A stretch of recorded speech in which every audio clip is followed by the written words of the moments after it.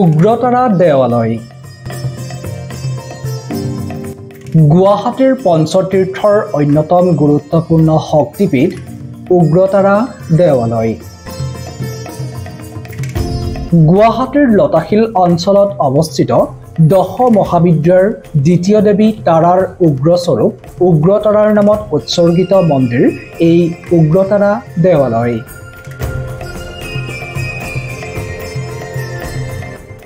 লোকবিশ্বাস মতে ইয়াত ভগৱান শিৱৰ পত্নী দেৱী সতীৰ নাভি পৰিছিল। বৰ্তমান উগ্ৰতাৰা দেৱালয় আহোম স্বৰ্গদেউ শিৱসিংহই সোতৰশ পঁচিছ খ্ৰীষ্টাব্দত নিৰ্মাণ কৰাইছিল। ইয়াৰ পূব দিশত আছে গুৱাহাটীৰ বিখ্যাত জোৰপুখুৰী। জোৰপুখুৰী তেওঁ মন্দিৰ নিৰ্মাণৰ তিনি বছৰ আগতে খন্দাইছিল। জোৰপুখুৰীত বিভিন্ন প্ৰজাতিৰ কাছ সংৰক্ষিত কৰা হৈছে।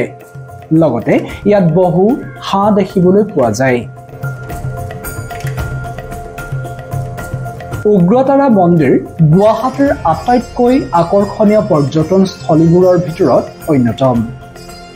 শ্ৰী শ্ৰী উগ্ৰতাৰা দেৱালয়ত প্ৰতিদিনে তাৰাৰ পূজা অৰ্চনা কৰাৰ লগতে দেৱাদিদেৱ মহাদেৱ আৰু ভগৱান বিষ্ণুৰ মূৰ্তিত ব্ৰাহ্মণ পুৰোহিতৰ দ্বাৰা পূজা দিয়া নিয়ম। প্ৰাচীন প্ৰবাদ অনুসৰি সদা জাগ্ৰত মা তৰাৰ শ্ৰীচৰণত পূজা অৰ্চনা কৰিলে ভক্তৰ মুখ্য লাভ হোৱাৰ লগতে অপায় অমংগল নাশ হয় বুলি বিশ্বাস কৰা হয়। সেই বিশ্বাসৰ ওপৰত নিৰ্ভৰ কৰিয়েই প্ৰতিদিনে দেৱীৰ আশীষ বিচাৰি উপস্থিত হয়হি বহু ভক্ত।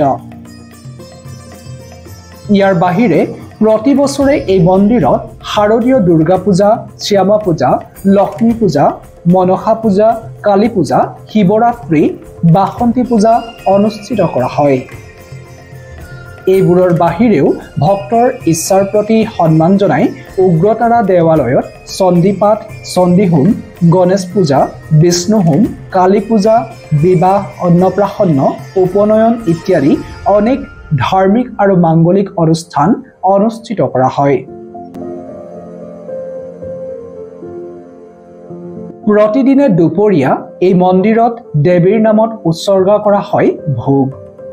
এই ভোগ প্ৰদানৰ লগে লগে দবা বজাই মন্দিৰৰ দুৱাৰ দিনটোৰ বাবে বন্ধ কৰি দিয়া হয় যদিও গধূলি সময়ত চাকি বন্তি জ্বলাই নাম প্ৰসংগ কৰি দবা বজোৱা নিয়ম উগ্ৰতাৰা দেৱালয়ত।